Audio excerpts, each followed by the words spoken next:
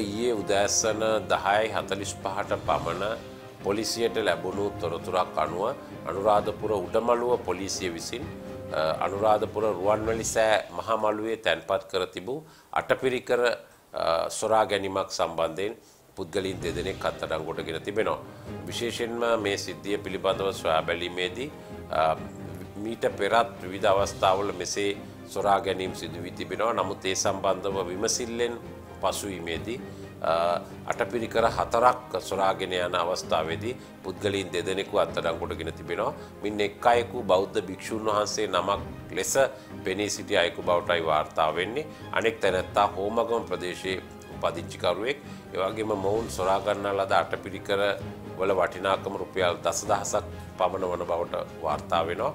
මේ සම්බන්ධයෙන් උඩමළුව පොලිසිය සමඟ අනුරාධපුර පොලිසිය විමර්ශනයක් ආරම්භ කර තිබෙනවා. අද දිනේදී මෙම සැකකරුවන් දෙදෙනා අනුරාධපුර මහිත්‍රාත් අධිකරණය වෙත ඉදිරිපත් කිරීමට නියමිතයි. ඔවුන්ට එරෙහිව සොරකම සහ එවගේම යම් අයගේ ආගමික හැඟීම්වලට රිදවන ආකාරයෙන් කටයුතු කිරීමට අදාළ නීතිමය ප්‍රතිපාදනය යටතේ අනුරාධපුර අධිකරණයේදී නඩු පැවරීම නියමිතව තිබෙනවා. මෙම අටපිරිකර බැතිමතුන් විසින් අනුරාධපුර රුවන්වැලි සෑයේ පේසා වලලු මත තැන්පත් කර තිබියදී සොරාගෙන ගොස් ඇති බවටයි වාර්තා වෙන්නේ මේ සම්බන්ධයෙන් පරීක්ෂණ පවත්වනවා ඒවගේම සොරාගන්නා ලද අටපිරිකර හතර පොලිසිය විසින් සොයාගෙන ඇති බවට වාර්තා වෙනවා. breaking.lk